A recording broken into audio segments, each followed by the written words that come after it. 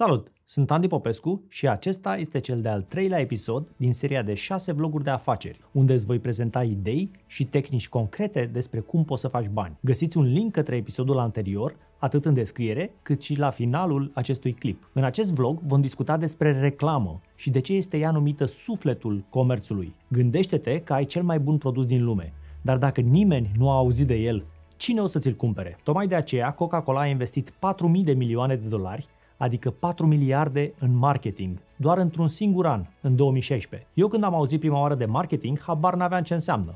Dacă vei căuta pe Google ce înseamnă marketingul, o să afli că înseamnă știința și arta de a convinge clienții să cumpere. Dar în realitate, marketingul doar îți aduce clientul în curte și de aici tu încă mai ai ceva de făcut, să îl convingi să îți cumpere produsul sau serviciul. Nu mulți oameni înțeleg diferența dintre marketing și vânzări.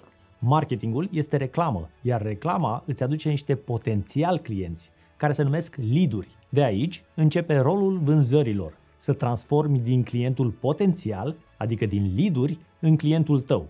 Deci avem doi pași. Pasul 1, marketing și pasul 2, vânzarea. Marketingul, adică reclama, este de două feluri, online și offline. Online înseamnă tot ceea ce este pe internet. YouTube, Instagram, Facebook, TikTok Google și altele. În episodul trecut, adică în vlogul numărul 2 din această serie, am vorbit despre cât de important este să îți cunoști tipul de clienți care îți vor cumpăra produsele sau serviciile. Este mult mai eficient să faci reclamă online pentru că îți poți selecta audiența în funcție de vârstă, localitate și interese. Ce înseamnă asta concret? Înseamnă că tu nu îți vei cheltui bani aiurea încercând să vinzi pensionarilor produsele tale care sunt doar pentru copii. Sau alt exemplu, nu vei încerca să vinzi copiilor produse destinate doar adulților, gen Viagra sau proteze dentare. Asta înseamnă că ai cheltuit mai eficient banii destinați reclamei tale. Alt avantaj al publicității online este costul mic în comparație cu zona offline, ca de exemplu televiziunea sau radioul, unde minutul de publicitate nu numai că te va costa mii de euro, dar nu poți selecta vârsta celor care se uită la televizor. Asta înseamnă ineficiență, pentru că deși în general cam ai idee cine se uită la o emisiune, nu poți să controlezi exact cine se uită la televizor, astfel încât reclama ta va fi prezentată unor zeci de mii de oameni care poate nu sunt deloc interesați de produsul sau serviciul tău. Deci reclama nu este bine targetată, adică nu ajunge la oamenii potriviți. Tocmai de aceea, în fiecare an, firmele plătesc din ce în ce mai puțini bani pentru reclama la televizor și mai mulți bani pentru reclama în online. Asta deja se întâmplă de câțiva ani încoace, tocmai pentru că poți să alegi mai precis cine se uită la reclama ta. Acum că ai înțeles care sunt avantajele reclamei online față de cea offline, hai să vedem cum faci o reclamă mai bună. Oamenii în general iau decizii emoționale și le justifică drept raționale. Ce înseamnă mai exact asta? Înseamnă că vezi pe stradă un Lamborghini și a doua zi te duci în showroom și îl cumperi și îți spui că a fost o decizie rațională, că tu chiar ai nevoie de o mașină. Eu am stat 3 zile în showroom de dimineață până seara, de aceea nu l-am lăsat pe cel care vindea mașina să mă plimbe cu ea, tocmai ca să nu iau o decizie emoțională. De această hibă psihologică, adică de această problemă a creierului nostru, se folosesc marile firme de haine atunci când fac vânzări. De ce credeți voi că oamenii aleg să dea 500 de euro pe un tricou Balenciaga când poți cumpăra exact același tricou și aceeași calitate fără logo-ul celebrei firme la doar 10 euro. Pentru că oamenii iau decizii emoționale, nu raționale. Ei aleg să dea 500 de euro pe un tricou Balenciaga sau Gucci pentru că se gândesc la emoția pozitivă pe care o vor simți când oamenii din jurul lor le vor oferi aprecierea. Iar acest lucru se întâmplă automat în subconștientul tău. La nivel rațional, tu spui, domne, mie chiar îmi place tricoul. Hainele scumpe fac oamenii să se simtă bine plătind de 50 de ori mai mult. De aceea există o întreagă industrie a hainelor scumpe, pentru că îți oferă emoția aprecierii oamenilor, precum și un statut. Asta nu înseamnă că nu există haine scumpe care sunt chiar mișto sau de bună calitate. Care e concluzia? Nu este greșit să îți cumperi haine scumpe, dacă îți permiți și dacă o faci din pasiune. Tocmai pentru că reprezintă un efort financiar mic pentru tine. Problema este când faci un efort financiar mare ca să îți cumperi acele lucruri, ca să arăți lumii un nivel pe care tu de fapt nu îl ai. Ca să revenim, prin marketing, adică prin reclamă, companiile se bazează pe felul în care te fac să te simți produsele lor, adică la nivel emoțional, nu rațional. De aceea, în ziua de azi, foarte mulți tineri își dau și ultimii bani pe haine, telefoane, ceasuri și mașini, pentru că vor acel statut, deși e fals. Asta nu înseamnă că dacă îți iei un telefon de ultimă generație, îl iei doar pentru statut, pentru că poate tu chiar apreciezi performanțele lui, cum și eu apreciez performanțele unei Tesla. Și nu am cumpărat-o pentru aprecierea celor din jur, pentru că mie chiar îmi place mașina, mă face fericit și întotdeauna am apreciat mașinile rapide. Eu am ținut cont de vorba lui Jay-Z, care spunea în felul următor, dacă nu poți să îți cumperi un lucru de două ori, înseamnă că nu ți-l permiți. De exemplu, eu mi-am cumpărat Lamborghini după ce am avut succes cu cele 15 case ale proiectului meu imobiliar. Și nu am cumpărat mașina înainte de a-mi permite încă una. Pentru că, așa cum vă spuneam în episodul 1, asta înseamnă responsabilitate financiară. Și dacă nu ești responsabil în viața personală, cel mai probabil nu o să fii nici în afaceri. Ca să faci o reclamă bună, trebuie să înțelegi care sunt cele mai importante 5 motive pentru care oamenii ți-ar cumpăra produsul sau serviciul. În primul rând, oamenii îți cumpără datorită prețului. Gândiți-vă de câte ori ați cumpărat ceva doar pentru că avea cel mai bun preț sau pentru că era redus. Deci dacă oferi un preț scăzut pentru produsul tău, ai șanse mai mari ca oamenii să-l cumpere. Doar că atunci când prețul mic este singurul tău avantaj, poți să dai faliment foarte ușor, pentru că oricând cineva poate apărea cu un preț mai mic decât al tău. Al doilea motiv pentru care oamenii cumpără este varietatea.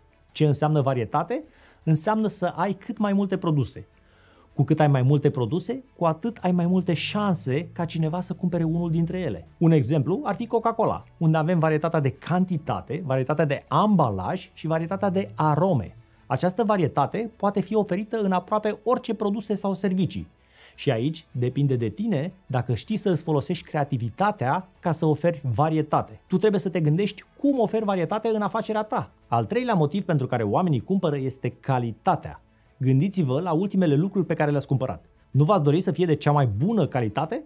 Majoritatea oamenilor preferă să cheltuie puțin mai mulți bani pentru un produs, dar care să fie de calitate bună. Gândiți-vă pe ce bunuri sau servicii din viața voastră ați vrut să cheltuiți ceva mai mulți bani pentru că ați simțit că ați dori o calitate puțin mai bună.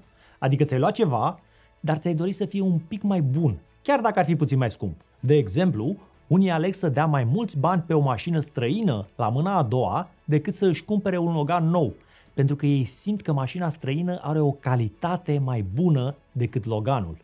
Un alt motiv ar fi ușurința sau accesibilitatea cu care oamenii pot cumpăra produsul sau serviciul pe care tu îl oferi.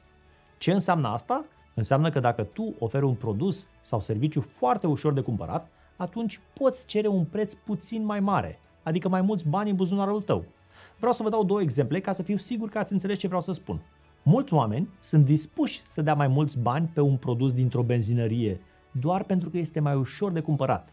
Sau un alt exemplu ar fi magazinele de cartier, unde marfa este mai scumpă decât la hipermarket, dar este mai aproape de locuințe sau accesibile la orice oră prin magazinele non-stop.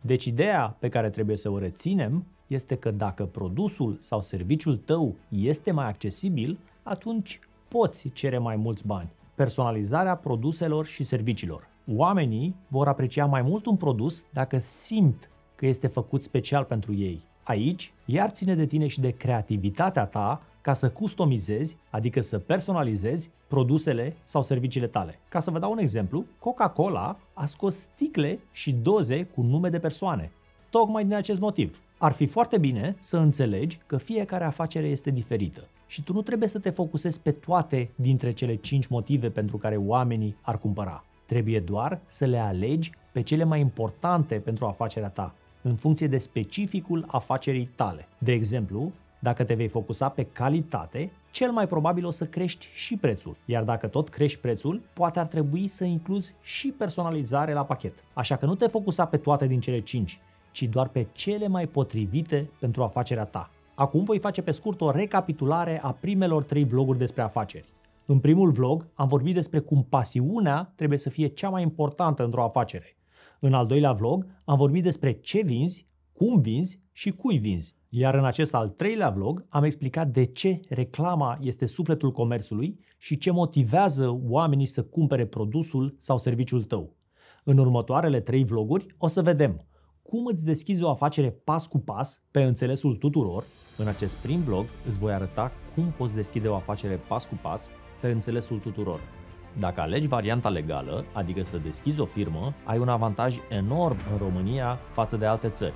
Pentru că cel mai important lucru pe care tu trebuie să-l reții aici este că fondurile europene sunt destinate de ce ai nevoie pentru a avea succes în afaceri și cum poți folosi aceste informații atât în business cât și în viața ta personală. În acest vlog vom vorbi despre ce ai nevoie pentru a avea succes în afaceri. Vreau să vă explic de ce perseverența este cel mai important lucru. Toată lumea vrea să facă bani repede, dacă se poate peste noapte și foarte ușor. Aș vrea să îți spun și cum poți să devii mai perseverent. Iar în cel de-al șaselea vlog vom vorbi cum îți poți crește o afacere, adică cum o poți scala astfel încât să faci mai mulți bani. În acest capitol vei vedea cum poți să îți crești, adică să îți scalezi afacerea. Primul lucru pe care ar trebui să-l știi este că cea mai comună scuză la care cei mai mulți oameni se opresc din a face o afacere este da, eu aș face o afacere, dar nu am bani să încep. Ți-am arătat principiile de bază prin care îți poți crește afacerea și de unde poți face rost de bani pentru afacerea ta. Hai să vedem patru modalități concrete prin care poți să faci rost de bani pentru afacerea ta ca să nu mai ai scuze. Hai să luăm un exemplu concret, cum aș fi eu, Andy Popescu, să fac bani de la zero.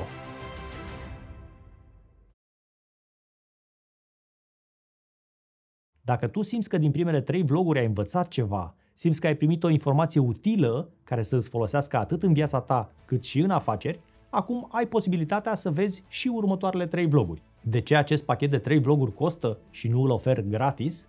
Pentru că un om niciodată nu va aprecia o informație gratis la fel cum o apreciază pe una plătită. Dacă tu vrei sfaturi despre afaceri, o să găsești pe internet cursuri și informații atât în română cât și în engleză, unele dintre ele costând mii de euro. Eu am ales ca acest pachet de vloguri să coste doar 99 de lei și dacă va avea succes, voi mai face. Tu vei vrea să valorifici mai mult ceva în care ai investit decât ceva care nu te-a costat nimic, pentru că tu vrei să îți recuperezi cumva investiția. Și de aceea, pachetul de vloguri îți dă posibilitatea să îți recuperezi rapid investiția în tine și în educația ta. Astfel, aceștia vor fi primii tăi pași în afaceri. Dacă tu consideri că primii tăi pași în afaceri și investiția în tine și în educația ta nu merită 99 de lei, îți spun din inimă să nu cumperi acest pachet de vloguri. Pentru că pe mine mă interesează ca tu să reții aceste informații, să le aplici și astfel îți vei găsi succesul. Și știu că atunci când tu îți vei găsi succesul, îmi vei trimite un mesaj și îmi vei spune asta. Și cu siguranță printre voi, cei care urmăriți acest vlog, vor fi unii care vor aplica aceste idei și care vor ajunge să își cumpere un Lamborghini. Oare vei fi și tu unul dintre ei? Dacă da, îți promit că voi face un vlog cu tine dacă dorești, pentru că atunci și tu vei inspira alți oameni. Aceea va fi adevărata mea mulțumire, să știu că am putut să schimb vieți. Eu nu sunt genul de om care să îți spună că te vei îmbogăți peste noapte. Cine face asta doar te minte pe față. Eu chiar nu te mint, am deja o situație materială decentă, nu îmi doresc iahturi sau avioane private chiar îmi este bine. Și atunci când unui om îi este bine, vrea să le fie bine și celor din jurul său. Eu sincer cred că aceste informații pe care ți le ofer în vlogurile despre afaceri îți vor crește șansele de a avea succes. Pentru a atinge succesul, pe lângă aceste informații, tu chiar trebuie să pui osul la treabă, să muncești și să fii perseverent. Dar așa cum ți-am spus în capitolul 1, dacă faci asta cu pasiune, nu simți că muncești, o faci de plăcere. În concluzie, dacă vrei să faci primii tăi pași în afaceri, Intră pe site-ul din descriere, andipopescu.ro și vei găsi acolo un clip gratuit în care explic pas cu pas cum începi. Deci tot ce trebuie să faci este să intri pe andipopescu.ro și acolo vei avea toate detaliile. Eu chiar îți doresc mult succes în viața ta și dacă alegi să nu cumperi acest pachet de vloguri. Iar pentru voi, cei care doriți să continuăm, ne vedem acum în cele trei vloguri. Ca să le accesezi, intră pe andipopescu.ro. Mult succes tuturor!